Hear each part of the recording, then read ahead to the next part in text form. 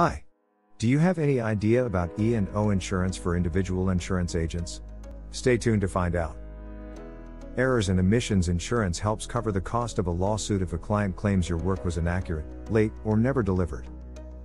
While E&O insurance covers potential fallout from a professional mistake, it does not provide complete protection. That means you'll need to keep this coverage if you retire or switch from freelancing to a full-time job if you want coverage for your past work. Similarly, occupations that require E&O insurance typically include consultants and insurance agents. Moreover, insurance carriers require E&O to protect both their clients' reputations and the insurance business. Thank you for watching. Please like, share, and subscribe to the channel to learn more. Also, don't forget to click the link in the description box below for more content.